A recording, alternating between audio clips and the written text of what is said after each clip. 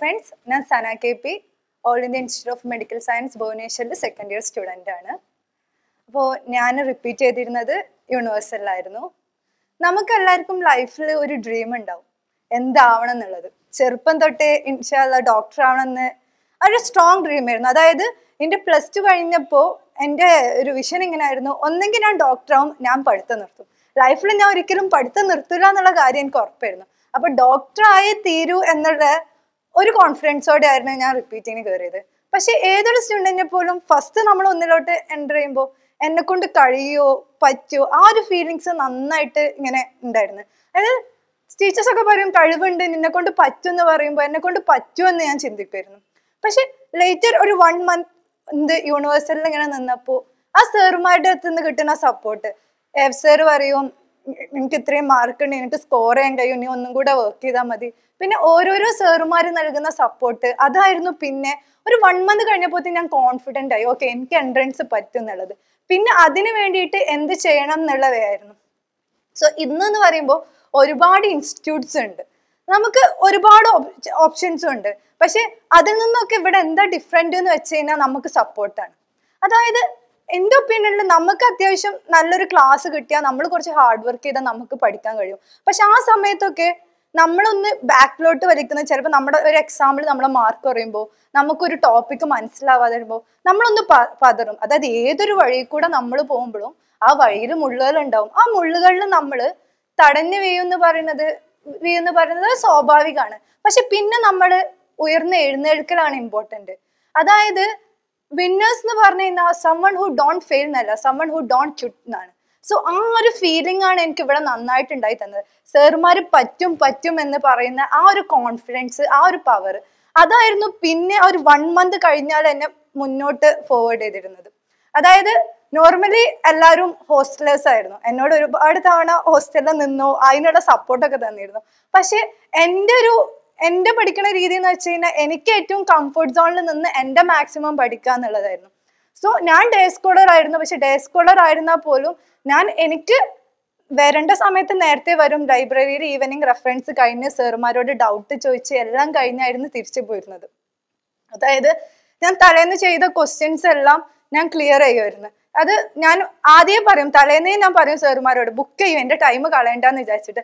സാറേ നാളെ ഈവനിങ് എനിക്ക് സാറെ വേണം കേട്ടോ എന്ന് പറഞ്ഞിട്ട്. അതായത് നാലു മണി നാലരക്ക് ക്ലാസ് കഴിഞ്ഞാൽ ഒരു അഞ്ചര ആറു മണി വരെ സാറുമാർ എനിക്ക് ഇവിടെ അവൈലബിൾ ആയിരുന്നു. അതായത് ഞാൻ ഫുൾ ഇങ്ങനെ ഇരുന്ന് തരും. നമ്മളെ എല്ലാ ഇങ്ങനെ എല്ലാ നോർമലി സാറുമാർ അവരുടെ ടൈമിന് അവരുടെ പേയ്മെന്റ് കഴിഞ്ഞാൽ ഓടിപ്പോവാന്നുള്ളതിൽ നിന്നും ആ ഫുൾ ടൈം നമുക്ക് കിട്ടുന്ന അവൈലബിലിറ്റി നമ്മളെ കൊണ്ട് കഴിയും തരുന്ന കോൺഫിഡൻസ് ഓരോരോ ടോക്സ് അതൊക്കെ ഭയങ്കര ഇൻഫ്ലുവൻസ് ആയിരുന്നു. അതായത് ഞാൻ എന്ന് വെച്ച് കഴിഞ്ഞാൽ കുറച്ച് ഇമോഷണലി ഉള്ള ഒരു ടൈപ്പ് ആയിരുന്നു. അതായത് പെട്ടെന്ന് നന്നായിട്ട് ഫോർവേഡ് ചെയ്യാൻ കഴിയും വർക്ക് ചെയ്യാൻ ചെയ്യും. പക്ഷെ അതേപോലെ തന്നെ ചെറുത് വരുമ്പോൾ ഒന്ന് ബാക്ക് അടിക്കും. അപ്പോൾ ഒരാളൊന്ന് പുഷ് ചെയ്ത് തന്നാൽ നന്നായിട്ട് ഫോർവേഡിലോട്ട് പോകും. നമ്മൾ പലരുടെ കേസും ഇത് തന്നെയാണ് സോ ആ ടൈമിലൊക്കെ നമ്മൾ ക്വിറ്റ് ചെയ്യാതിരിക്കാൻ നമുക്ക് ബാക്കിൽ നിന്ന് ഒരു സപ്പോർട്ട് വരിക അതായിരുന്നു ഏറ്റവും ഇമ്പോർട്ടന്റ് ആയിട്ടുള്ളത്. പിന്നെ ഒരു ഇൻസ്റ്റിറ്റ്യൂട്ടിലെ മെറ്റീരിയൽ ആണ്. ഞാൻ പറയുന്ന ഏറ്റവും നല്ല ബുക്ക് എന്ന് പറയുന്നത്. അതായത് എല്ലാ സാറുമാരും അത്രയും ഇത് കൊളാബറേറ്റ് ചെയ്ത് കുറേ ക്വസ്റ്റ്യൻസ് റെഫർ ചെയ്ത് നമുക്ക് തരുന്ന ഒരു മെറ്റീരിയൽ ആ മെറ്റീരിയൽ നമ്മൾ പക്ക പെർഫെക്റ്റ് ആയിട്ട് സോൾവ് ചെയ്ത് അത് റിവൈസ് ചെയ്യുമ്പോൾ തന്നെ നമുക്ക് നല്ലൊരു പവർ കിട്ടും. സോ അതിന് തന്നിരുന്ന ക്ലാസ്സസ് ഒക്കെ വളരെ നല്ലതായിരുന്നു. എക്സ്പെഷ്യലി ഞാൻ വെച്ച് കഴിഞ്ഞാൽ ഫിസിക്സ് ഫിസിക്സിൽ കുറച്ച് വീക്കായിട്ടായിരുന്നു ഞാൻ വരുമ്പോൾ ഉണ്ടായിരുന്നത്. കാരണം എന്നെ എന്നെ ഭയങ്കരമായിട്ട് ഇൻഫ്ലുവൻസ് ചെയ്യുന്ന കാര്യമാണ് എന്റെ സാറുമാർ എന്ന് പറയുന്നത്. സോ വല്ല അതിൽ എനിക്ക് എനിക്ക് എന്റെ കോൺസെപ്റ്റ് റെഡി ആയിട്ടില്ല എന്ന് എനിക്ക് തോന്നിക്കഴിഞ്ഞാൽ ഞാൻ അവിടെ ഡൗൺ ആയിട്ടിരിക്കും. സോ ഫസ്റ്റ് എന്ന് വെച്ചാൽ ഞാൻ കോൺസെപ്റ്റ് ക്ലിയർ ചെയ്യാൻ വേണ്ടിയിട്ട് ഞാൻ നന്നായിട്ട് ഇതാവുമായിരുന്നു എം കെ സാർ ക്ലാസ്സിൽ എടുക്കുന്ന രീതി ഭയങ്കര ഇഷ്ടമായിരുന്നു പിന്നെ പറയാൻ ഒരിക്കലും വിട്ടുപോകാൻ കഴിയാത്ത രണ്ട് സാറുമാരാണ് ഫിസിക്സിൽ എൻ സെഡ് സാറും എസ് കെ പി സാറും അതായത് വൈകുന്നേരം ആറു മണി ആറര വരെ ഇരുന്ന് ഫുൾ സോൾവ് ചെയ്ത് തരുമായിരുന്നു ഇവൻ ഞാൻ ഓർക്കുന്ന എൻട്രൻസിന്റെ മൂന്നാൽ ദിവസം മുമ്പ് വരെ ഞാൻ എൻജഡ് സാറിനും എസ് കെ പി സാർക്കും ഒക്കെ ഇങ്ങനെ ടെസ്റ്റ് അയക്കാൻ. സാർ ഈ ക്വസ്റ്റ്യൻ ഇങ്ങനെയായിരുന്നു ഞാൻ സോൾവ് ചെയ്തില്ല ഇതെന്തുകൊണ്ട് ഇങ്ങനെ ചെയ്തത്? അത് എക്സാമിന്റെ തലേന്ന് വരെ എനിക്ക് ആ ഒരു സപ്പോർട്ടീവായിട്ട് നിന്നിട്ടുണ്ടായിരുന്നു. പിന്നെ ബോട്ടണിയുടെ കേസ് ആയാലും സർ എഫ് സാറെ സപ്പോർട്ട് എസ് കെ സാറുടെ സപ്പോർട്ട് എസ് കെ സാറുടെ ടോക്സ് അത് ഭയങ്കര ഇൻഫ്ലുവൻസ് ആയിരുന്നു. കെമിസ്ട്രിയുടെ കേസിൽ P V sir C sir questions തരുന്നത്. മീൻസ് ശരിക്കും പറഞ്ഞാൽ പി വി സാർ ആ ക്വസ്റ്റ്യൻസിന് തരുന്ന ഒരു അപ്രോച്ച് അത് എയിംസൊക്കെ ആ ഒരു ഫോർവേഡ് അടിക്കാൻ കുറച്ച് ലെവൽ ക്വസ്റ്റ്യൻസ് ഹാൻഡിൽ ചെയ്യാൻ നല്ല ഹെൽപ്ഫുൾ ആയിട്ടുണ്ട് ജെ സാർതൊക്കെ പിന്നെ സുവോളജി സുവോളജി എസ് വി സാറിന്റെ ആ ഒരു സുവോളജി എടുക്കുന്ന മെത്തേഡ് ഭയങ്കര മീൻസ് എങ്ങനെയാണ് നമ്മൾ എം സി ക്യൂവിന് അപ്രോച്ച് ചെയ്യേണ്ടത് എന്നുള്ളതിനൊരു വ്യക്തമായിട്ട് രീതി ഉണ്ടായിരുന്നു. സോ ആ സാറുമാരുടെ ക്ലാസ്സസ് അത് നമുക്ക് കിട്ടി. ഇനി നമുക്ക് മുന്നോട്ട് പോകാനുള്ള ആ സപ്പോർട്ടീവ് എന്നത് അതും എനിക്ക് നന്നായിട്ട് കിട്ടിയിട്ടുണ്ടായിരുന്നു. അങ്ങനെ മീൻസ് ഞാൻ ജസ്റ്റ് എന്റെ സോറി അതായത് നീറ്റ് ഞാൻ പ്രതീക്ഷ അത്ര എനിക്ക് പെർഫോം ചെയ്യാൻ കഴിഞ്ഞില്ല. അവിടെ വന്നിട്ടുണ്ടായിരുന്ന ചെറിയ ചെറിയ അതായത് ലേറ്റ് ആയിട്ട് പേപ്പർ തന്നു. അതിൽ ഞാൻ പറ്റ മീൻസ് നമ്മളിങ്ങനെ ഒരു അതായത് ഒരു ഇൻസ്റ്റിറ്റ്യൂട്ടിൽ നമ്മൾ ഭയങ്കരമായിട്ട് ഒക്കെ കിട്ടുന്നു. അത്രയും കോൺഫിഡൻസിൽ നിന്ന് ഒരു എക്സാമിന് പോയിട്ട്. ഒരു എക്സാം കുറച്ച് ലേറ്റ് ആയി. എനിക്ക് ഇത്തിരി എക്സാമിന് ടെൻഷൻ കയറി ഞാൻ പറ്റുന്ന പോലെ പെർഫോം ചെയ്യാൻ കഴിഞ്ഞില്ല. ഈവൻ അന്ന് എനിക്ക് എന്റെ നീറ്റ് കഴിഞ്ഞ് വന്ന് ഓക്കെ ഞാൻ എന്റെ റാങ്ക് എന്ന് വെച്ചാൽ എനിക്ക് മഞ്ചേരി കയറാനുള്ള റാങ്ക് ആയിരുന്നു. പക്ഷെ ഇറ്റ് വാസ് ഇൻ ബോർഡർ നമുക്ക് ഉറപ്പില്ലായിരുന്നു. സോ എനിക്ക് അന്ന് ഓക്കെ ഇനി എന്നെ കൊണ്ട് എയിംസ് ഒന്നും പറ്റൂല എന്ന് പറഞ്ഞിട്ട് എനിക്ക് ക്വിറ്റ് ചെയ്യായിരുന്നു. ഞാൻ പറ അന്ന് രാത്രി ഞാൻ കരഞ്ഞിട്ടുണ്ട്. പക്ഷെ നെക്സ്റ്റ് ഡേ മുതൽ ഞാൻ പറഞ്ഞിരുന്നത് എന്റെ റബ്ബ് നീതിമാനാണ്. ഞാൻ നന്നായിട്ട് പഠിച്ചിട്ടുണ്ട്. ഞാൻ ഹാർഡ് വർക്ക് ചെയ്തിട്ടുണ്ട്. സോ എനിക്ക് എന്തായാലും കിട്ടുന്നുള്ള ആ ഒരു കോൺഫിഡൻസിൽ പിന്നുള്ള ദിവസം ഞാൻ ഇരുന്ന് പഠിച്ച്. അതായത് മീൻ ഇവൻ നീറ്റിനെടുത്ത പ്രഷർ ഇല്ലാതെയായിരുന്നു ഞാൻ നീറ്റിന്ന് ആ ഒരു ഫ്ലോപ്പിൽ നിന്ന് ഞാൻ ഇരുന്ന് പഠിച്ചിരുന്നത്. അതായത് ക്വസ്റ്റ്യൻ പേപ്പേഴ്സ് ത്രീ ഹവേഴ്സ് വെച്ചിട്ട് ക്വസ്റ്റ്യൻ പേപ്പേഴ്സ് ഓൺലൈനിൽ സോൾവ് ഔട്ട് ചെയ്യും. സാറുമാരോട് വേണ്ട ഡൗട്ട്സ് ചോദിക്കും. എന്തായാലും എനിക്ക് എയിംസ് കിട്ടും എന്ന് പറഞ്ഞിട്ടായിരുന്നു പഠിച്ചത്. സോ നമുക്ക് ലൈഫിൽ ഫസ്റ്റ് വേണ്ടത് നമുക്ക് നമ്മളിലുള്ള വിശ്വാസമാണ്. ആ വിശ്വാസം ബിൽഡ് ചെയ്യാൻ ഒന്ന് നമ്മൾ കരുതും പോലെ നമുക്ക് പഠിക്കാൻ കഴിയണം. നമ്മൾ പഠിക്കണം വിചാരിക്കണ സമയം പഠിക്കണം. വെറുതെ ലാഗായിട്ട് ലാസ്റ്റ് എന്നെ കൊണ്ട് കഴിയും പറഞ്ഞിട്ട് കാര്യമില്ല. നമ്മൾ ആ പക്ക ഓർഡറിൽ തുടക്കം തൊട്ട് ലാസ്റ്റ് മൊമെന്റ് വരെ എക്സാമിന് ഇരിക്കും വരെ വേണം.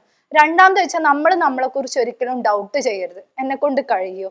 എന്നെ കൊണ്ട് പറ്റൂലേ ഞാൻ ഇതിനൊന്നുമില്ലേ. നിങ്ങൾ ഡൗട്ട് ചെയ്ത് ആ ഡൗട്ട് നിങ്ങളെ ബാക്കിലോട്ട് വലിക്കും എന്തായാലും. സോ അത് നിങ്ങൾ എന്തായാലും ഒരു ഒരു ഡ്രോബാക്ക് ചെയ്യും. സോ എനിക്ക് എന്നെ സ്ട്രോങ് ഡ്രീം ഉണ്ട്. ഞാൻ ആ ഡ്രീമൊക്കെ എത്തുന്നുണ്ടെങ്കിൽ നമ്മൾ അവിടെ എത്തിയിട്ടുണ്ടാവും. പിന്നെ എനിക്ക് പറയാനുള്ള ഒരു ചെറിയ സജഷൻ ഞാനൊരു റിപ്പീറ്ററാണ് സോ നമ്മുടെ നാട്ടിൽ വന്ന് പോയ ഒരു ചെറിയ കോൺസെപ്റ്റ് ആണ് റിപ്പീറ്റ് ചെയ്താലേ കിട്ടുള്ളൂ എന്നുള്ള കോൺസെപ്റ്റിലോട്ട് നമ്മളെ നാട് മാറിയിട്ടുണ്ട്. എന്റെ ഞാൻ നമ്മുടെ അവിടെ എയിംസിൽ നൂറ് സ്റ്റുഡൻസ് ഉള്ളത്.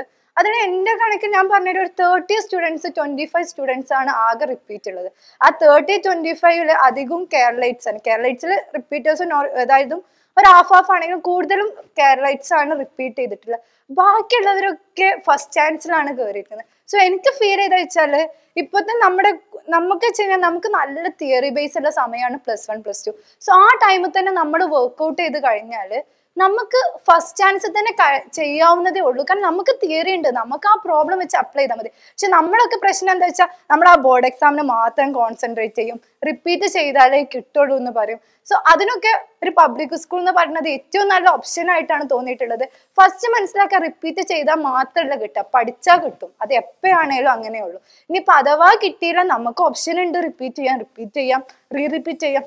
എന്ത് തന്നെ ചെയ്താലും നമ്മൾ നമ്മളെ ഡ്രീം എന്ത് ചെയ്യുക ഇപ്പോൾ റീമിന്ന് മാറാതെ ഇരിക്കുക നമ്മൾ അതിൽ ഫോക്കസ്ഡ് ആയിട്ട് ഇരിക്കുക സോ നിങ്ങൾക്ക് സപ്പോർട്ടാ വേണ്ടത് നിങ്ങൾക്ക് ലൈഫിൽ ഫ്രണ്ടിലോട്ട് ഫ്രണ്ടിലോട്ടതും നല്ല ക്ലാസ്സോ വേണ്ടതെന്നുണ്ടെങ്കിൽ യൂണിവേഴ്സിൽ എന്തായാലും നല്ലൊരു ഓപ്ഷനാണ് കാരണം സപ്പോർട്ടീവ് ആയിട്ട് പോയി കഴിഞ്ഞാലേ നമുക്ക് എവിടെ എത്താൻ കഴിയും. എക്സാം മീൻസ് അതായത് നമ്മളൊരു കോളേജിൽ എത്തിക്കഴിഞ്ഞാൽ നമുക്ക് കൂടുതൽ സപ്പോർട്ടീവ് ഉണ്ട്. അപ്പൊ നമ്മൾ കുറെ ഇൻഡിപെൻഡന്റ് ആയി നമ്മൾ കുറെ കാര്യങ്ങൾ പഠിച്ചു. നമ്മളൊരു പ്രൊഫഷണൽ ആയിട്ട് മാറി. സോ നമ്മൾ സ്വന്തം ഹാൻഡിൽ ചെയ്യണം. പക്ഷെ റിപ്പീറ്റ് എന്ന് പറഞ്ഞാൽ അങ്ങനത്തെ ഒരു ടൈമിൽ അതായത് നമ്മുടെ കോച്ചിങ് എന്ന് പറയുമ്പോൾ എനിക്ക് കിട്ടും ഞാൻ അവിടെ എത്തും എന്നുള്ള ഭയങ്കര നമ്മൾ ലൈഫിൽ ഒരു പ്രഷർ ഉള്ളൊരു ടൈമാണ് സോ ആ പ്രഷർ ഉള്ള ടൈമിൽ എത്ര വലിയ സ്ട്രോങ് മാനാന്ന് പറഞ്ഞാലും നമുക്ക് അപ്രീസിയേഷൻ ഭയങ്കര ഇമ്പോർട്ടന്റ് ആണ്. അതിന്റെ കൂടെ കോൺഫിഡൻസ് ഇമ്പോർട്ടന്റ് ആണ്. വിയും നമുക്ക് എക്സാമിൽ മാർക്ക് കുറയും ഉള്ളതൊക്കെ ശരിയാണ്. പക്ഷെ മാർക്ക് കുറഞ്ഞാൽ അടുത്ത എക്സാമിന് എനിക്ക് മാർക്ക് കൂട്ടാൻ കഴിയുന്നുള്ള കോൺഫിഡൻസ് നമ്മളും ഉണ്ടാക്കണം. അതിന് സാറുമാർ തരുന്ന ഒരു സപ്പോർട്ടും വേണം. സോ എല്ലാവരും നിങ്ങളുടെ ഡ്രീമിനനുസരിച്ച് പോവുക. നിങ്ങളുടെ ഡ്രീം എന്ന് നിങ്ങൾ കോൺക്യൂർ ചെയ്യുന്ന അന്ന് മാത്രം സ്റ്റോപ്പ് ആവുക. പുതിയ പുതിയ ഡ്രീംസ് കാണുക.